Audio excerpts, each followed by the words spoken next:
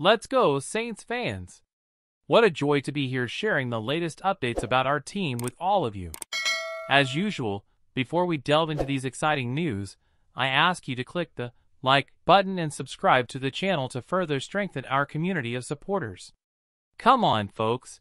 You all know that we are always in pursuit of constant improvement to achieve excellent results. Isn't that right?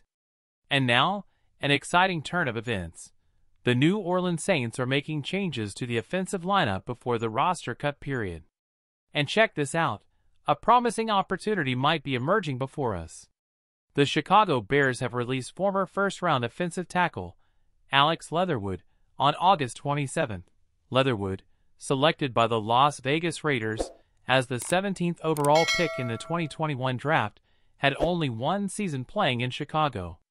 Johnson, from the Saints podcast, suggested that our team consider the possibility of adding Leatherwood to the roster, should he be available. Even though he has moved between two NFL teams in a short span, a new opportunity could be the right move.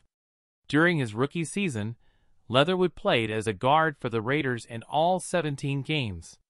However, he was overshadowed in the following season. Las Vegas released him in 2022, and the Bears acquired him through waivers. Now it's your turn, fans. What do you think about this potential inclusion of Leatherwood in our offensive lineup? Share your perspectives in the comments below and, of course, don't forget to give that thumbs up on this video and subscribe for more information about the New Orleans Saints. Until next time, folks.